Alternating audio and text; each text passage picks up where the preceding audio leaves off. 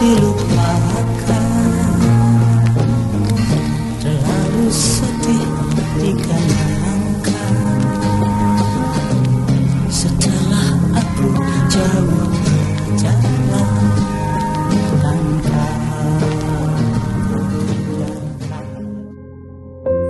seni Indonesia berduka karena dua hari berturut-turut kehilangan insan terbaiknya.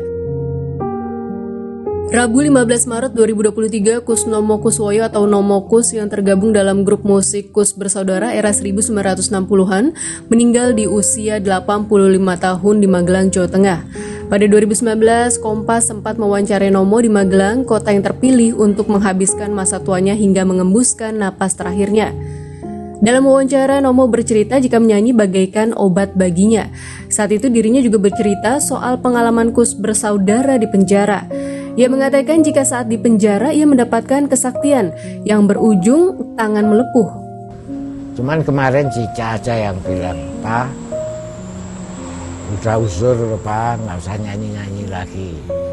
Itu kan dia. Nah aku ini kalau nyanyi itu obat deh. Ada lagi yang yang lucu deh. Yang namanya dulu Banten sama Makassar ribut. Hmm. Itu ada yang namanya Pak Pitan. Pak Pitan ini bisa sakti itu gimana? Terus aku ditanya, kamu pengen sakti? Elah, ditulis raja gitu. Disuruh megangin, rokoknya kan disansu tuh. Tusuk-tusuk ini nggak panas. Giliran sudah masuk sel, aku bilang sama pastor, kan kita berempat di satu sel. Wah sekarang udah sakti. Wah habisin ya, macam-macam di sini. Ya masuk rokok.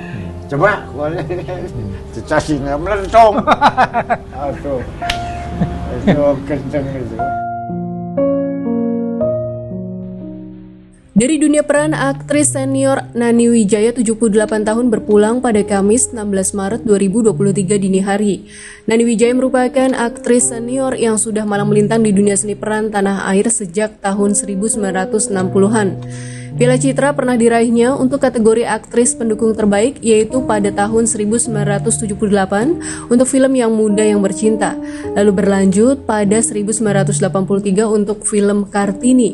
Di masa tuanya Nani Wijaya kembali bersinar di dunia peran televisi. Dirinya terkenal dengan perannya sebagai Emak Oneng dan mertua Bajuri di sinetron komedi Bajai Bajuri yang fenomenal tayang di tahun 2002 sampai 2007.